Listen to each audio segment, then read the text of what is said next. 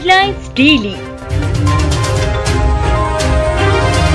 H D news आगामी समय में इंदौर शहर में नगर निगम एवं ग्रामीण क्षेत्रों में नगर परिषद के भी चुनाव 6 जुलाई को संपन्न होने वाले हैं। इस बार चुनाव समर में यादव समाज के अनेक प्रतिनिधि अपना भाग्य आजमा रहे हैं। चुनाव में यादव समाज के अधिक से अधिक उम्मीदवार चुनाव जीतकर प्रतिनिधित्व करें इस उद्देश्य को ध्यान में रखते हुए अखिल भारतवर्षीय युवा यादव महासभा द्वारा समस्त समाजजनों से यादव समाज के उम्मीदवारों को जिताने की अपील की गई है। अखिल भारत वर्षीय युवा यादव महासभा के शहर अध्यक्ष सचिन यादव ने मीडिया से चर्चा में कहा कि हमारा उद्देश्य राजनीतिक क्षेत्र में समाज के अधिक से अधिक प्रतिनिधित्व को बढ़ावा देना है और इसके लिए समाज के उम्मीदवारों का जीतना आवश्यक है। यादव समाज के उम्मीदवार जो कि किसी भी राजनीतिक दल से या स्वतंत्र रूप से चुनाव लड़ रहे हैं, उन्हें अधिक से अधिक समर्थन देकर चुनाव जिताया जाए। हम समाज के सभी बंधुओं से और एक ही अपील करना चाहेंगे आज आ, इस मीडिया के माध्यम से कि जितने भी हमारे प्रत्याशी खड़े हुए हैं यादव समाज के उन सभी उम्मीदवारों के हाथ मज़बूत करें।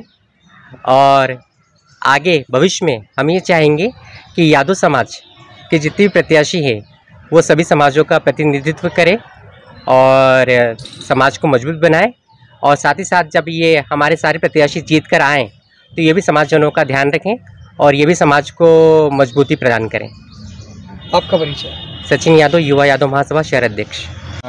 आगामी 6 जुलाई को नगर निगम परिषद के जो चुनाव होने जा रहे हैं इसमें यादव समाज के वे सभी प्रतिनिधि जिन्होंने चुनाव लड़ रहे हैं मैं चाहूँगा कि सभी लोग अच्छे से जीत हासिल करें और सभी समाज का कार्य करें और समाज को भी आगे एक मार्गदर्शन प्रदान करें।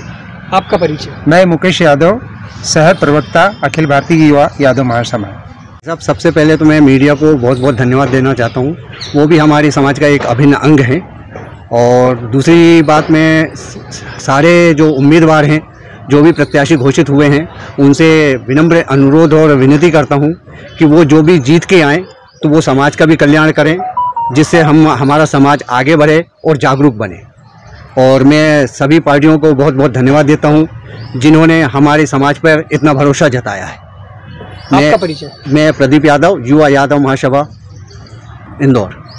आज अखिल भारत वर्षीय युवा यादव महासभा के शहर उपाध्यक्ष प्रदीप यादव का जन्मदिन भी महासभा के पदाधिकारियों द्वारा मनाया गया इस दौरान वृक्षो रक्षति रक्षिता के उद्देश्य से नंदानगर के एक उद्यान में वृक्षारोपण भी किया गया आयोजन के दौरान केक काटकर श्री यादव के जन्मदिन की खुशियाँ मनाई गईं।